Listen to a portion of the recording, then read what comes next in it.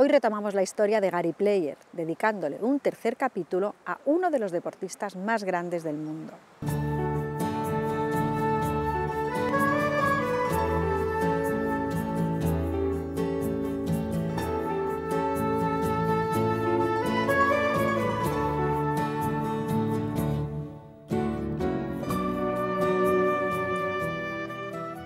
De sus 166 títulos ganó varios en Europa, entre ellos cinco ediciones del Mundial Match Play, 73 en Sudáfrica, 20 en Australia y en Asia, y continuó sumando victorias como senior a partir de 1985. Entre ellas, sumó otros nueve de los grandes.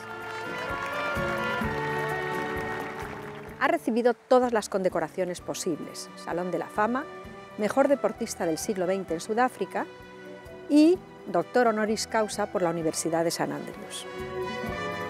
No solo ha sido un gran jugador, sino también un gran hombre de negocios, con varias empresas que se dedican a la organización de torneos, diseño de campos, producción de ropa, de vino, de objetos de golf.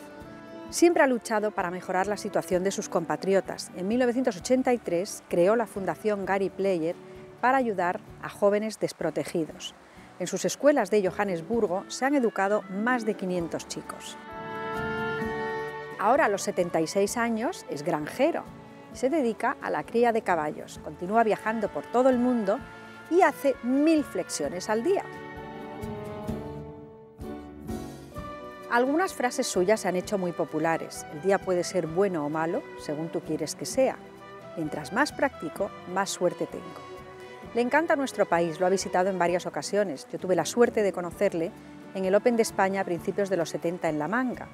Ha ganado aquí la Copa del Mundo, Trofeo Johnny Walker, Trofeo Ibergolf, pero sobre todo me consta que siempre ha demostrado un gran cariño y adoración por Sebe Ballesteros.